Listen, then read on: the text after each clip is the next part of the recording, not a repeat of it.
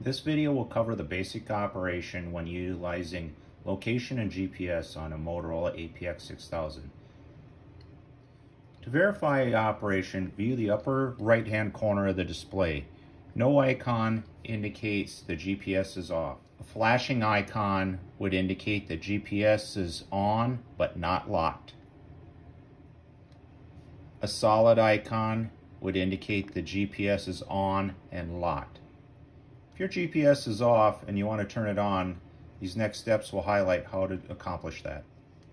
Select the location button in the menu selection. Next, depress the middle button with two dots, highlighting on. As noted in this demonstration, the GPS is on but not locked. This radio is currently being utilized indoors and does not have an antenna connected to it.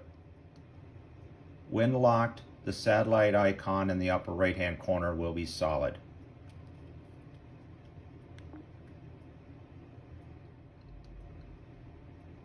To turn the GPS receiver off, select the location button in the menu selection. Next, select the options selection, which in this case is the leftmost one dot button.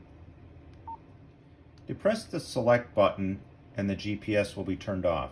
In this case, it's the button with one dot.